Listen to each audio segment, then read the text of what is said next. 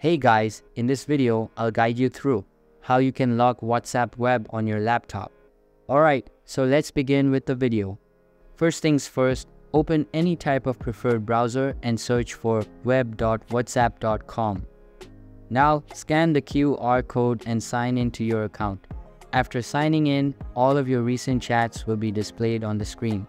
In order to lock WhatsApp web, click on the three dots icon at the top and select Settings from the drop-down menu. After that, get to the Privacy Settings tab and access the App Lock feature. Enable this feature and you will now be prompted to enter a new password.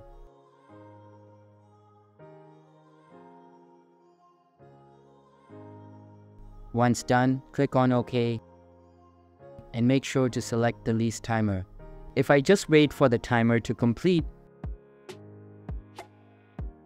you can see that my WhatsApp has been locked.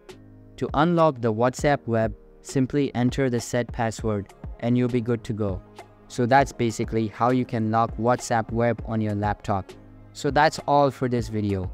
Consider subscribing if you find it helpful and I'll see you in the next one. Thanks.